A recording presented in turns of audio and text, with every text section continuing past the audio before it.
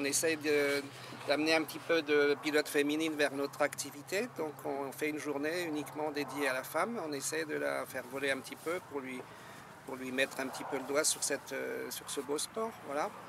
Euh, peut-être 1000 mètres, 1300 mètres. Donc ça, un planeur, ça se sert des courants ascendants naturels qui sont dans la nature pour pouvoir monter. Donc on se sert d'ascendance liée au soleil. Sans soleil, ça ne marche pas. Donc du soleil et des nuages, c'est tout à fait idéal aujourd'hui pour faire ce genre d'activité. La vitesse, le badin. Donc un tachymètre qui mesure la vitesse du planeur en l'air mhm. par rapport à l'air.